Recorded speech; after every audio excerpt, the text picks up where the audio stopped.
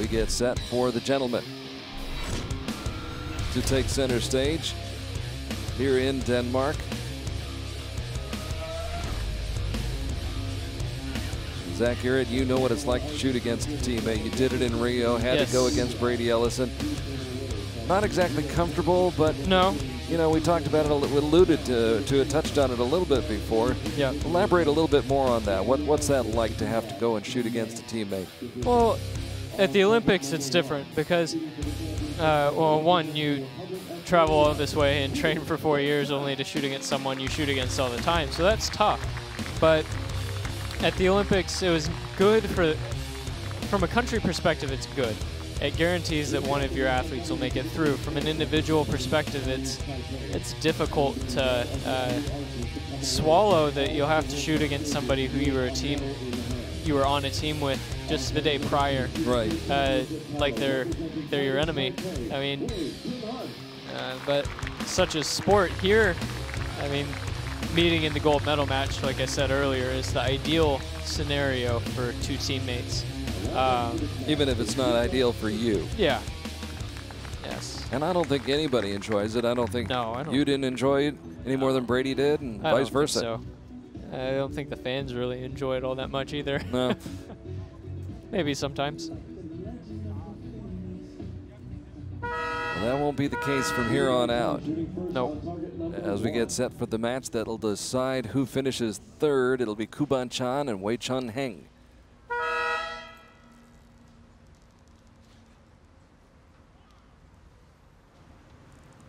And Ku Bonchan, the Olympic gold medalist, Nine.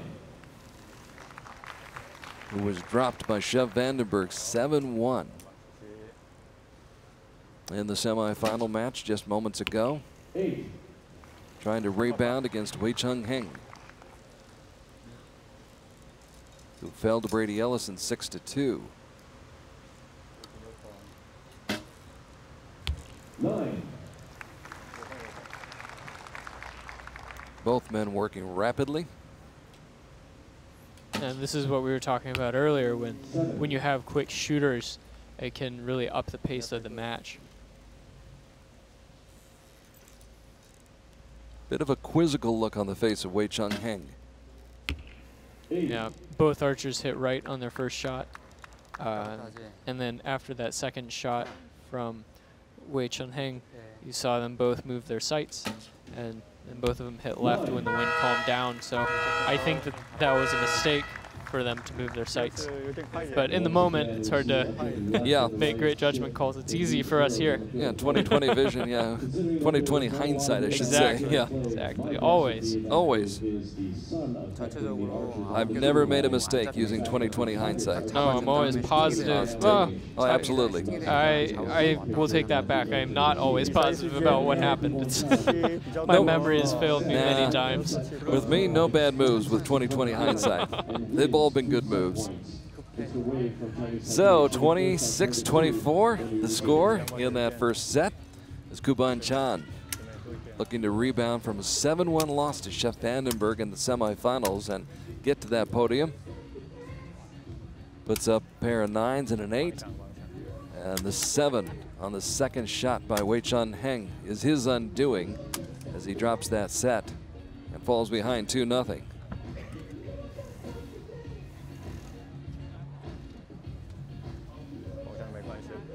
Chun Heng, 22 years of age. If you're just joining us, he's ranked 10th in the world. Qualified ninth at the Olympics with a score of 679. That goes to what you were talking about a little while ago, Zach, how scores of 680 four years ago in London, they were few and far between. Now it's become commonplace, 680 to 700. Yeah, very. Uh, in the middle of the pack too has gotten a lot deeper. You see at the World Cups, everybody's shooting 660s. Yeah. At the top was it? I think it was in Turkey where the top 100 shot. Uh, the cut was a 640 something. It's almost a nine average. It's unheard of um, in in the World Cup competitions. Usually it's much lower, but it just speaks to all these programs in the country or in the world are just getting better and better and better. And the equipment's also getting better too. Uh, equipment gets better. OK，可以。Nine. Equipment can be the difference between maybe 640s and 660s, mm -hmm. maybe, but. But when you get to that higher level, it's all all the athletes.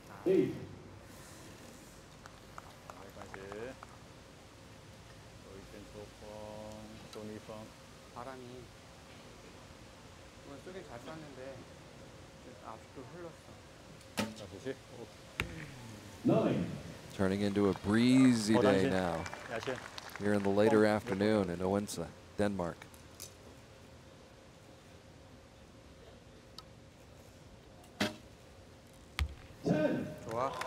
Smack dab in the middle. Cannot get much closer to the center than that.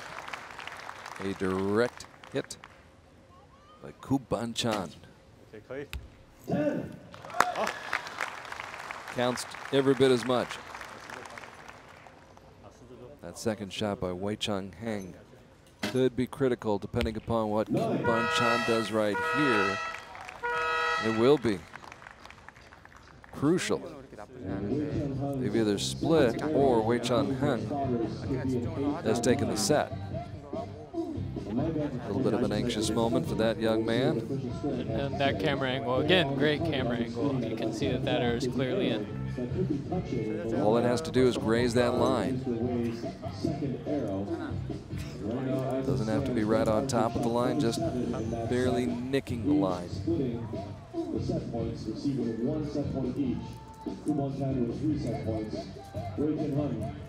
Ku Bonchan led it 2 to nothing after the first set. And it will be either 3 to 1 or 2 to 2. depending upon the judge's call.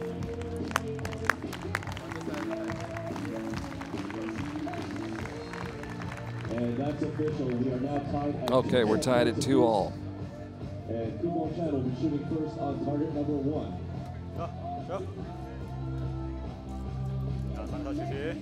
So that second shot was a nine instead of an eight for Wei Chun Heng, and he takes that set 28 27. We're all tied up at two apiece. Shadows starting to grow across the field of play here. That can play some tricks on you too. I was Changing ask lighting, you about that. Yeah, the lighting change. lighting can be very difficult. We saw that in Rio in our uh, match against China. Um, everyone started hitting left as the sun moved more. Uh, I think it moved more. More to the, the west. It was yeah. Yeah. Well, the stadium there, Sambodromo started to cast some shadows. Yes. I remember that. But here, the light is still, it's been consistent on the target the whole day and consistent on the athletes as well. So it shouldn't cause any issues, but we'll see. Ten. This is not to be appear to be causing any issues for these archers.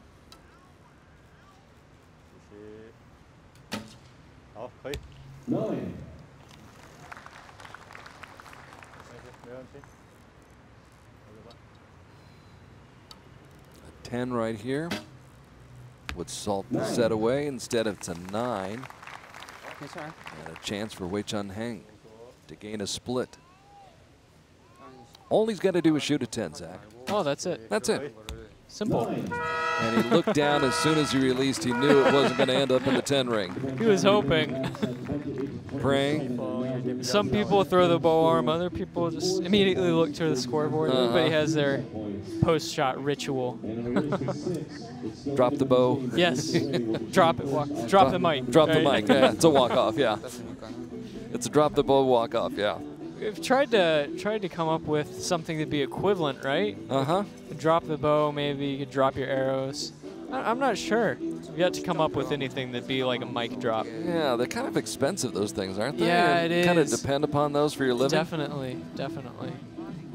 Not sure how many many of those you want to drop. Now maybe just I don't know what I could carry around for dropping Drop sake. one arrow. That's Drop it. an arrow. Drop an arrow. An arrow. Yeah. Do the arrow drop. I I'm going to remember someone- that. I'll hold you to that. You know that. Aye, great. I had someone ask me to sign and uh, give them an arrow once, Uh-huh. and I had to say, man, uh, you know, I'd, I'd love to, but This it's thing's expensive. Target number two. They don't exactly grow on trees. no, not quite, not quite. Now, if you'll bring Zach an arrow, he will sign it for you. okay, yeah, you can you can quote that. Okay. Some agent I am. 可以，I'm sorry. Some agent I am. yeah. No. good start for Wei Chun Heng. And he needs a good start, trailing 4 to 2 in this match. Good battle going on between the two archers from the Far East.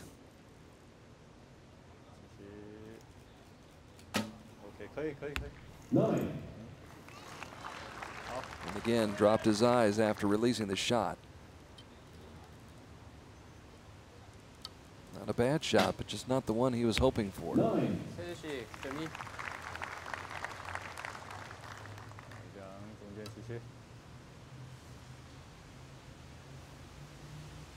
Wants to put as much pressure on Ku Bonchan as he possibly can. and it's just out of the 10 ring.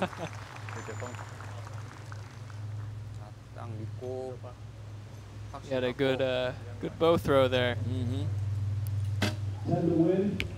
And an eight instead, so goes from being in a position where he could have wrapped it up and closed out the match, gotten ready for his uh, appearance on the podium, and instead it's going to go to another set, the fifth set. Wei Chun Heng winning that one by one point, 28-27 good battle going on right here in the match to determine third place here in Denmark at the 2016 Archery World Cup Final.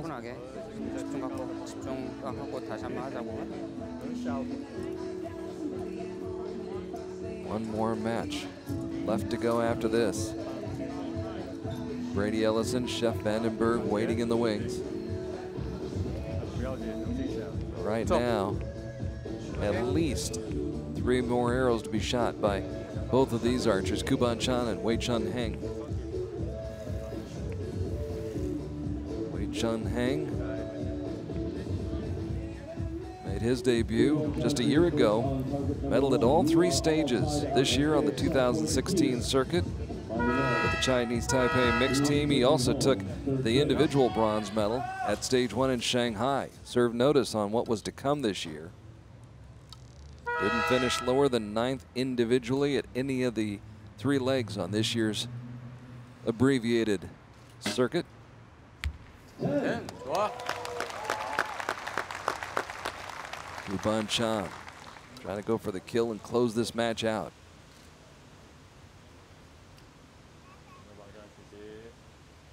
I doubt either one of these gentlemen want to get to a shoot off. No, I don't think so. it may be headed for that, Zach. It could be. Nobody ever wants to go to a shoot off. Nine. Ah, go on. They're fun. Uh-uh. They're fun. Uh-uh. We love them. Oh, for the crowd, it's yeah, great. sure. So are penalty kicks.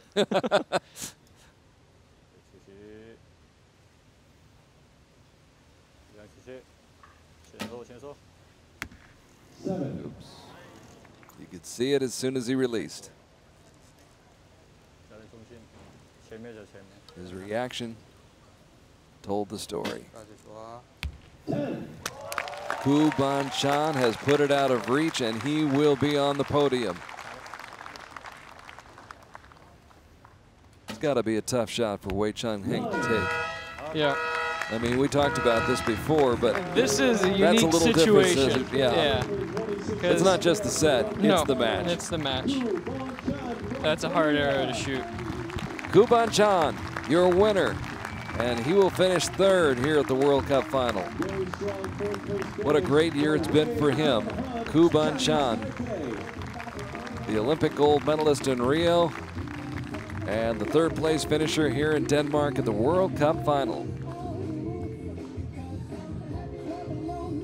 So congratulations to Ku Bonchan, and really congratulations as as well to Wei Chun Heng for getting into this match and having a great season himself. Definitely. Did you did you say that last year was his first year on the circuit? Yes, it was. Oh, good for It's him. been a rapid rise. Definitely so. He has come on strong. Wei Chun Heng